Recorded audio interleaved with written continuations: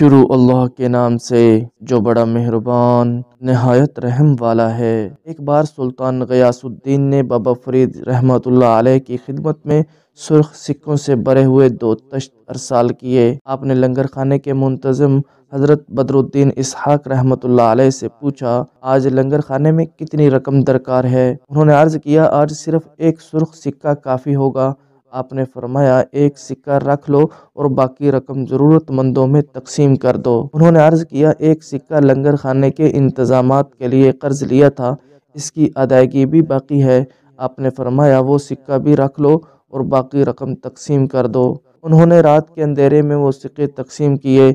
इत्तफाक से एक सिक्का ज़मीन पर गिर गया और वहीं पड़ा रहा। तकसीम का काम ख़त्म हो चुका तो मौलाना की नज़र इस सिक्के पर पड़ी उन्होंने इस सिक्के को उठाकर अपने लबास की जेब में रख लिया कि कल लंगर खाने में काम आएगा।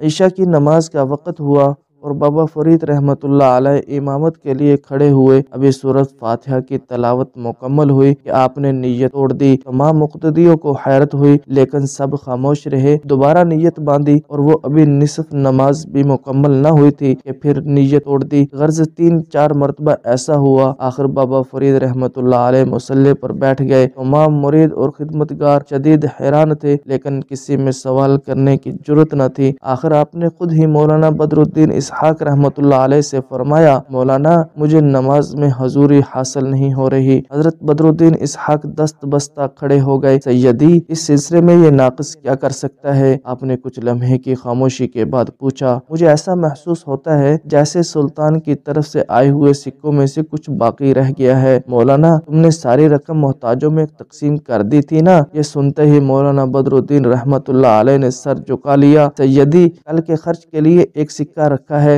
मुर्शद की खफगी के ख्याल से आपकी आवाज़ लर्ज रही थी। इधर है वो सिक्का? बाबा फरीद रहमत के लहजे में खफगी का अंसर नुमाया था। मौलाना बदरुद्दीन इसहाक रहमत ने जेब से सिक्का निकाल कर मुर्शद की खिदमत में पेश कर दिया। बाबा फरीद रहमत ने वो सिक्का लेकर दूर फेंक दिया और फरमाया, यही दात का टुकड़ा बंदे और अल्लाह के दरमियान हायल हो गया था। तमाम हाजरीन पर जैसे सख्ता तारी था, आपने मौलाना बदरुद्दीन रहमत को मुखातब करके फरमाया, मौलाना, क्या हो गया था तुम्हें? दरवेश होकर माती इसबाब पर भरोसा करते हो। उम्र गुजरी जा रही है और अभी तक तवक्ल का मतलब समझ नहीं आया कि रजाकी पर यकीन नहीं है।